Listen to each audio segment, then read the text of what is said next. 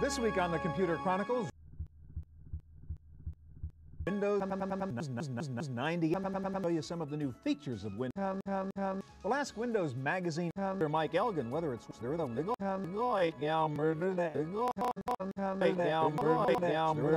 worth upgrading. You'll meet some Windows 98 users. They think you, you some of the more fun aspects of Windows 98 you, you, with two add-ons plus 98, Osmos 98. The man who developed the popular alternative Windows, Fun, Fun Linux, plus my pick of the week, you, you ultimates you, you, you, to email on the road. Online. It's all coming up next on the Computer Chronicles. The Computer Chronicles is made possible in part. Chronicle, Chronicle. Wired for fun and learning with location in Cambridge, Massachusetts, Palo Alto, California, and White Plains, New York. And Chronicle, Chronicle, Chronicle, Chronicle. The Minute Technology News. Cali-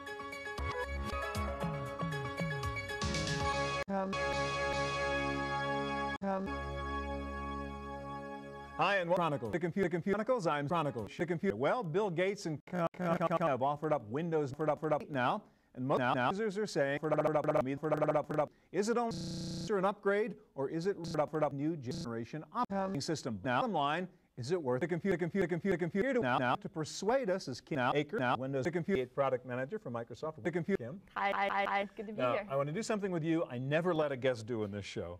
I want you to sell the computer. Pitch me, convince me and our viewers worth upgrading 98. Well, let's just take. Yeah, similar to the web, you can navigate. So it keeps where I've been, even in the desk, I can just go and forward. you can backwards, forwards as getting. Nice. The other thing is, you can see here, you can get a preview app, so you don't actually have to try to remember what it is you've saved your file. As You can just quickly see. Two, that's very good. The other thing you can, let's say that I wanted to go out to the, let's just go out to ESPN here, see what happened last night. We'll All right. check. I think there was some baseball activity Yes. last night. And I'm on the web. If I wanted to go back to my hard drive, I simply I'm right back on my hard drive.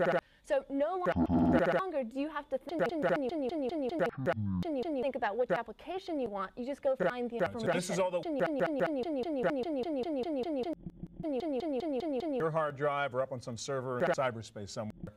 Access. Exactly. Your hard, your hard, your hard, your hard, your hard, your hard. Now, similar Your to hard- you use backwards and forwards on the web, links or hyperlinks is also something that's pretty helpful. So what we Your hard, hard, your hard, your hard, your hard, your hard, your hard, your hard, your hard, your hard, your hard, your hard, your hard, your hard. can do, what you can see, now it's very similar to the web. It's link based.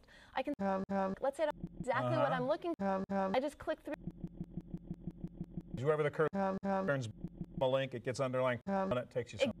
Also built in some new trouble wizards to having to call into product support. You can now You go get put on ahead. hold. All right. You can go. A couple of quick Here, questions. the Microsoft. Dis- we'll- so let's say you're having trouble. You can't print out your document. You're on a low. Okay. Now, if you're still the, the, the, and you want information, you have the ability.